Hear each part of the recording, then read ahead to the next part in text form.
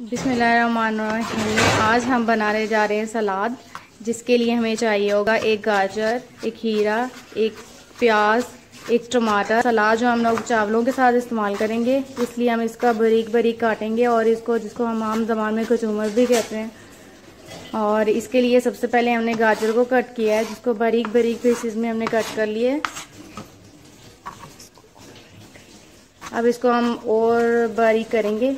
ताकि ये हमारे बहुत अच्छी सी चावलों के साथ खाते हुए बहुत अच्छा लगे। निकल चुकी है, इसके बाद हम हीरा लेंगे और इसी को इसी तरह बारीक बारीक पीसेस में काट लेंगे। पहले इसकी गोल गोल कटिंग होगी। देखिए कितनी अच्छी सी और खूबसूरत सी लुक आ रही है कटिंग की। ये सिर्फ़ आपकी छुरी जो है ना, उसका काफ़ी तेज़ होना बहुत ज़रूरी है।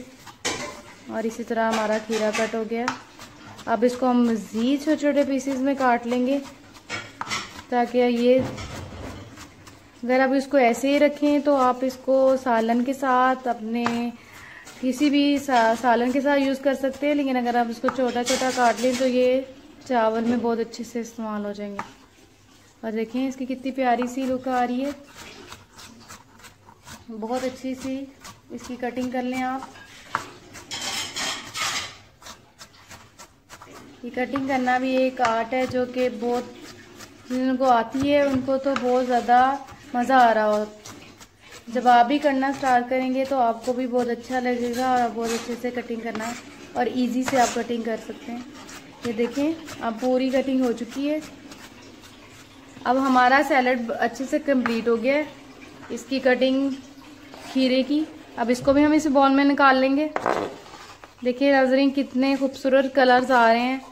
जब वेजिटेबल फ्रेश होती हैं तो इतने ही खूबसूरत खूबसूरत से कलर आते हैं, देखें। कितना खूबसूरत ऑरेंज और ग्रीन का मिक्सचर और पीसेस में कट कर लेंगे और इसको भी बारीक बारीक सा फिर बाद में कट कर लेंगे। आप अगर आप न्यू न्यू हैं मतलब बिगिनर में हैं तो आप इसको बहुत ज़्यादा छुरी को तेज़ मल चलाएँ वास्ता ऐसा करें, इस तरह आपकी स्पीड बन जाएगी और इसके बाद में आप बहुत अच्छे से कट कर सकेंगे।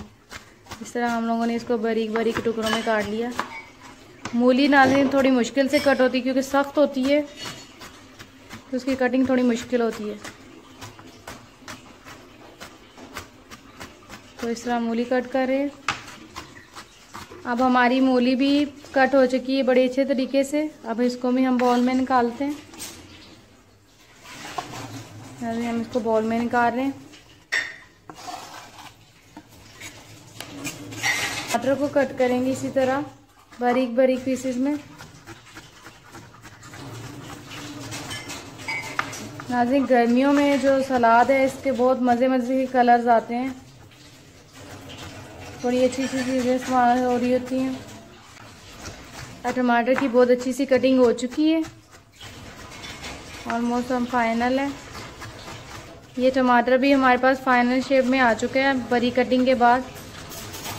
अब हम इसको इस बाउल में ऐड करेंगे।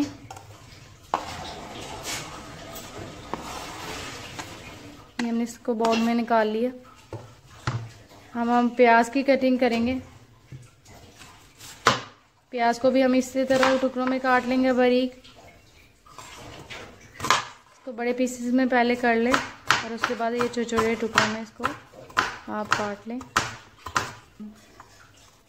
अब आप देख रहे हैं कि बड़े बड़े पीसेस में प्याज कट चुका है। अब हम इसको छोटे छोटे टुकड़ों में मज़ीद छोटा कर लेंगे ताकि खाने में बहुत अच्छा सा टेस्ट आए सब सब्जियों के साथ। अब इसकी फाइनल कटिंग हो चुकी है। अब इसको हम इसी बाउल में मिक्स कर, कर देंगे।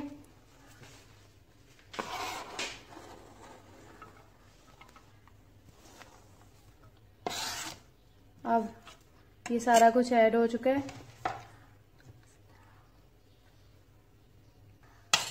अब हम इसको अच्छे से मिक्स कर रहे हैं, ताकि इसकी फाइनल लुक आए। अब इसमें थोड़ा सा धनिया और पुदीना ऐड करेंगे, जिससे इसका टेस्ट और खुशबू बहुत अच्छे से आएगी और लुक भी बहुत अच्छे से देगी ये डार्क ग्रीन कलर है। और देखें, बाकी कलर्स के साथ जाके ये कितना खूबसूरत लग रहा है। अब हम सैलड को एक प्लेट में निकाल लेंगे, ताकि फाइनल सर्व करने के लिए। इसको हमें खाने के साथ हम सर्व करेंगे हमने चावल के साथ। देखें इसके कितने खूबसूरत से कलर आ रहे हैं।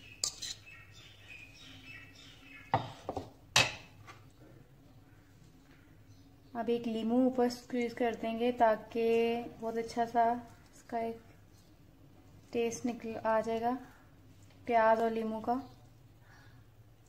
और बाकी सारी वेजिटेबल्स का। एक हरी मिर्च हम इसके ऊपर रख देंगे ताकि वो प्यारी सी लुक आ जाती है। और ये देखें, ये हमारी फाइनल लुक है।